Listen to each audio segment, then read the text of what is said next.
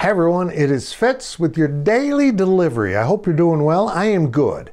I'd be better if basketball season wasn't over at Kansas State. The women lost on Sunday. It's over.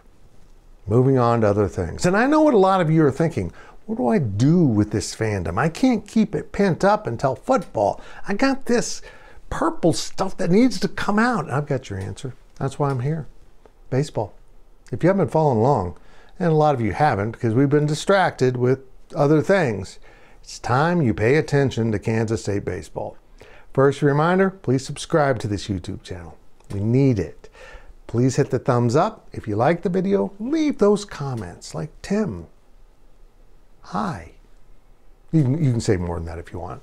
I'll have some more little things at the end here. If you're an avid viewer of the DD, please stick around for that. Let's talk baseball. K-State is 5 and 1 in Big 12 play. They're leading the Big 12. It's early. It's really early for K-State because they've already had an off week in, in league play, and a lot of schools, most schools, have nine games under their belt. But but K-State will be at home this weekend.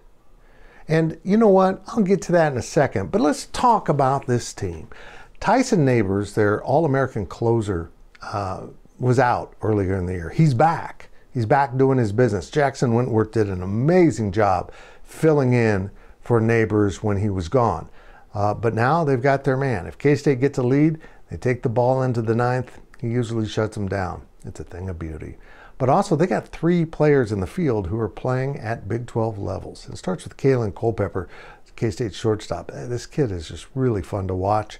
And then in left field, you got Chuck Ingram. He's a, Wichita State transfer, and he has just really boosted this lineup quite a bit. And Brady Day, the second baseman, turned down a professional offer uh, to come back and play one more season at K State, and it's working. This team's really good. 17 and 6 and 5 and 1. But I mentioned they're home this weekend. And I don't know if you've ever heard of uh, the Texas Longhorns. Uh, yeah, they're leaving. Uh, you don't really need to get to know them. They're, they're leaving next year for another conference. But this might be the last time they come to town in anything. I don't know. I haven't checked all the schedules, but certainly last time in Manhattan for baseball. I know that's a fact. You want to get out to Tointon. Here's the best part. As I sit here tonight, the weather forecast for uh, Friday and Saturday are highs in the 70s. Sunday right now is a little cooler. Check your local forecast. It could change a lot. It's Kansas in March, but it should be beautiful weather.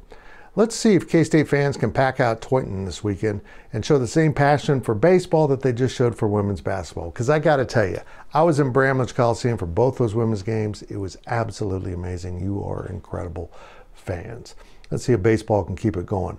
Uh, certainly, taking a series with Texas, let alone sweeping them, would be a huge statement about where this team and the program's at, and they have an opportunity opportunity to do it. We'll see you at Tointon.